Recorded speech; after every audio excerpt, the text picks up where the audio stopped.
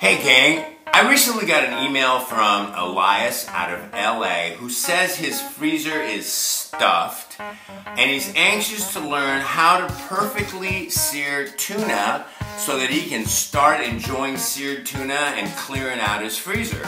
So I've come up with this video because seared tuna has always been a favorite of mine and I've got a super easy technique that will just blow your mind and it'll be something you'll remember forever and you'll be able to pull off some of the most beautiful seared tuna dishes ever. If you're interested in learning how to do that, my name is Yanni, this is Fisherman's Belly, home of the easy fish recipes. Here we go. California spiny lobsters. I'll take that one. Oh I'm gonna fillet this yellowtail in my suit and tie. Oh my goodness, take a look at that. Unbelievable. Look at the steam coming off. Homemade smoked tuna belly dip. Oh my God. Here you have it, ladies and gentlemen. Fried, crispy tuna tacos. Bring home a whole yellowtail and make this soup.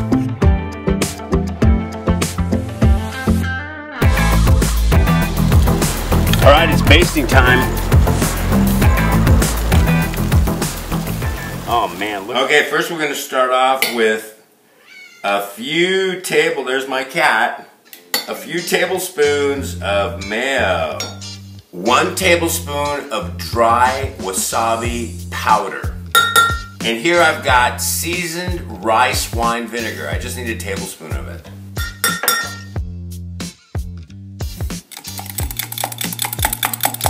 Wow. Perfect, that's it. Okay, so now this goes in the refrigerator until we need it. Time for the next step, and that is to grab your cast iron skillet and start heating it up.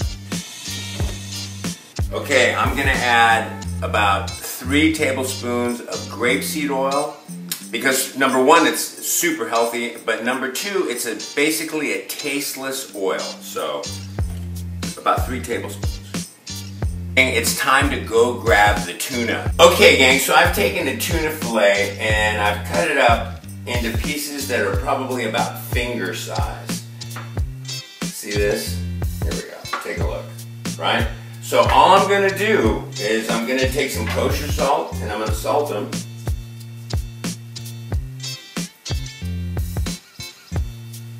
Flip them over, over. Just touch them with a light salting again.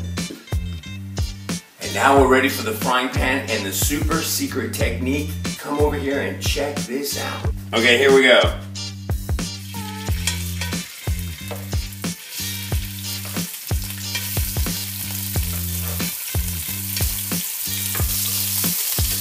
So here's a secret technique. You only, when you lay the filet into the frying pan, you don't touch it and then you lift it out after about 20 or 30 seconds and it's done. Check this out.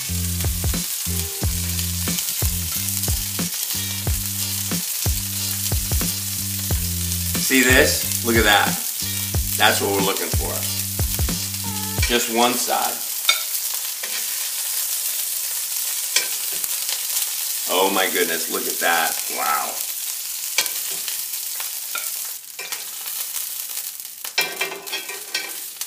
Wow. There it is. It's seared only on one side and look at that. Perfectly medium rare up on top. That's perfect. All right, I'm gonna set this aside, let it cool off, and I've got a few other things to cut up. Okay, I'm gonna finally chop up this sweet red pepper.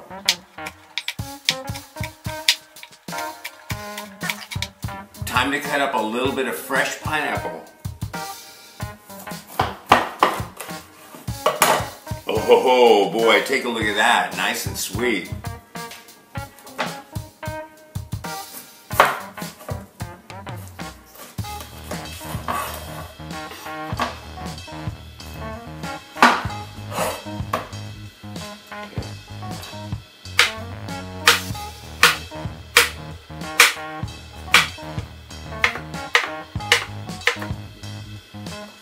All right, gang, it is my favorite time, final assembly time. I've cut up those sweet red peppers. I've cut up some pineapples. I even, when you guys weren't watching, I even cut up some cilantro. I've got some chopped cilantro.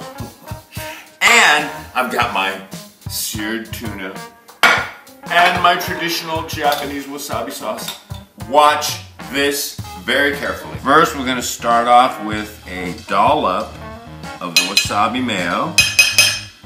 Right there, okay? Then we're gonna do this. We're gonna smear it all over. Oh, that's nice.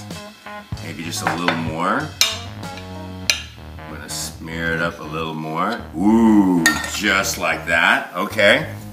Now we're gonna grab some of our fish. And we're just gonna put it in here, like this. At that. Oh, look at this.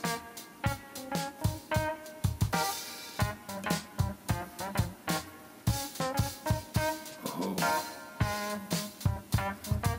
Oh my goodness, look at that. Look at that. Oh my goodness. All right, next, we're gonna add a few of these cubed up pineapples here and there. Next, a few of these red peppers, these sweet peppers, just like that. And then a little bit of cilantro. And here you go, fellas, and Elias. Here is a simple technique for creating spot on seared tuna and creating this seared tuna salad. The wasabi sauce, oh my god, the pineapple, the red peppers, the cilantro, and look at this. I'm not sharing this, and you know that. My name is Yanni, this is Fisherman's Belly. If you guys want the full recipe on this, go to my website, fishermansbelly.com. In the tuna section or in the Asian section, you'll find the full written recipe. And don't forget to subscribe so you guys can keep up to date with all these new recipes I keep coming up with. I want to thank you for spending time with me today, and we will see you on the next one.